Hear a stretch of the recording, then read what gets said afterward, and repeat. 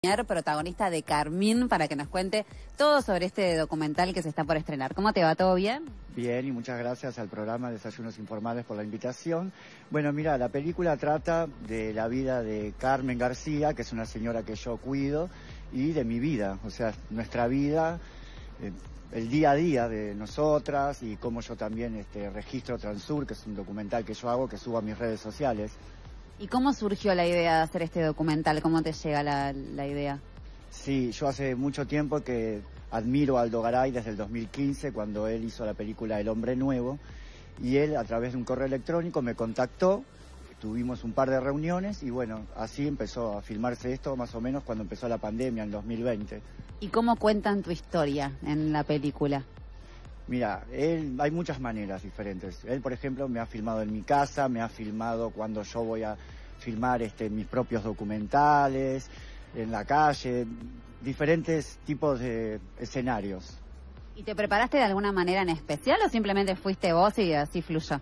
No, yo no me preparé porque la verdad que dejo que las cosas fluyan y que sean naturalmente. Me parece que eso es mejor que prepararme tanto porque la película no es ficción, es, trata sobre, claro, sobre la vida real de Carmen y mía. Entonces no, no me preparé nada, no es nada actuado, es todo real.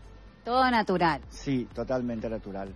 Bueno, vamos a invitar a la gente, a los que quieran acercarse a, verla. Se va a estrenar el 19 de octubre. Sí, el 19 de octubre se estrena en Montevideo, en la sala Cinemateca, Life Alfabeta y sala B del auditorio Nelly Goitiño del Sodre. La productora es Micaela Solé, bueno, Aldo Garay es el director y después hay un grupo largo de personas que los estaré diciendo en redes.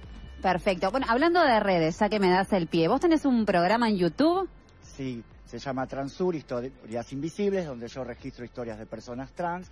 Tiene 10 años mi proyecto, pueden entrar a YouTube, Sofía Saunier, Instagram, todo para seguirme. Y también quiero decir que el 19 de octubre hago una muestra en el subte donde eh, va a haber eh, exposiciones de imágenes de las chicas muertas de Transur, porque tengo 20 personas que ya fallecieron, que no es poca cosa, así que los invito también a ir al subte.